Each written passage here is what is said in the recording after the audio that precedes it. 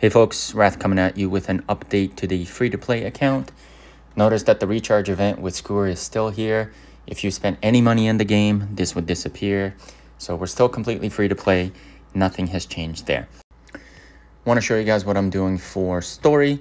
Uh, this is an older video from earlier today. I did uh, make it further than this afterwards. I think I'm on stage 32, 36, something like that. So it's definitely progressing. We've got two tanks up front. And when I say tank, I mean damage absorbers.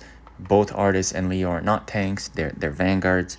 And then I've got Serena for the heals, and Daniel for the crowd control, and then Taylor for the damages as well. So Daniel and Taylor both doing some massive damage there.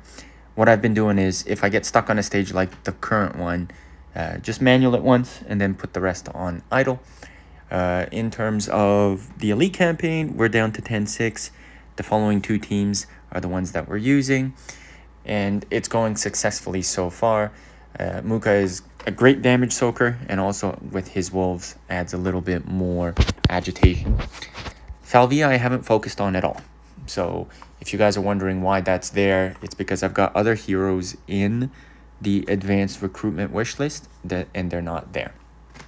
Today we finished the elite chapter event as well. Here's what I bought. So I bought Senway and then all the other things except diamonds and the uh, the hero foods. I am saving 40 of the uh, Metrolite here. Reason being is next time there's an elite chapter event, we could use it towards getting a second copy of whatever the champion that they released there is. Galactic Treasure, we're making some progress here. Happy to get another Senway and Ampu copy. Should happen over the next five days. We'll get everything in here. Uh, should be no problem at all. Moving on to the double chip event. I quickly glanced over there. 60 is what I summoned for the Daniel copy. Hell Arena, we're done really well. I lost one match to red lights here. Otherwise, uh, I'd be in first. So switching gears over to the dungeons. Where are we? Sinsaro, we've made it to 13. Uh, this is the team that I use. Fairly effective with uh, Taylor and Soaring Medallion. I do want to highlight something though. So each of the following King's gifts that I got along the way, I have purchased the diamond cost equivalent from. And the reason being is because we get a ton of diamonds from the campaign. We get a ton, ton of diamonds from these first five scripted weeks. That all of these things will help progress the account. The moment that I get four here on Crimson Abyss, uh, you better believe that I am going to buy that King's Gift. Right now, I think we're sitting at 27, 30,000 diamonds. So definitely have lots to spend. Where are we in terms of Soul Mine? We've made it to 304. Shout out to Dylar. He's right behind me there.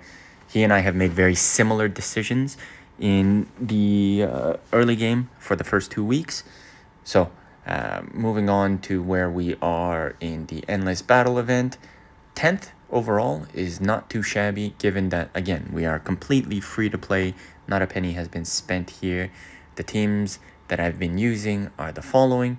I wish I had more summoners because if I did, the damage would be a little bit higher here. And then on the uh, Forbidden Mist one, lucky that I got yesterday a Karmada commander that allowed me to do true damage and get one of the breakpoints there. And then finally switching over to Alter, Uh, one key the first three. Hard, I don't think we're going to be able to two key this week, but I'm pretty sure we're going to be able to do it next week. And then finally switching over here to what my characters are. So Daniel gets the best gear, most evolved from a triple S. I need one more copy to get him to exclusive 20. Otherwise, he'd already be there. Uh, Leo, Notice that they all have legendary equipment. Taylor as well. Taylor's sitting in legendary equipment. I've got him up to 70% crit rate, and he does a fantastic job there. Exclusive 10. Artis, he's doing well too. He's got legendary equipment, exclusive 0. I'm saving the, the runes for somebody else, probably Leo when he gets up to the required evolution level. And then Sorietta, we've got at X10 one piece of non-legendary gear. And then also do want to note that Senway is, I call him Daddy Senway. He definitely helps early game. Serena, we need some better gear on, but she's doing her job well. And so that's about it. The only one other worth of note would be Ampu. He's gotten all my leftover gear. Some of it is Hawkeye, but we'll switch it out to Hero. See you guys on the next one.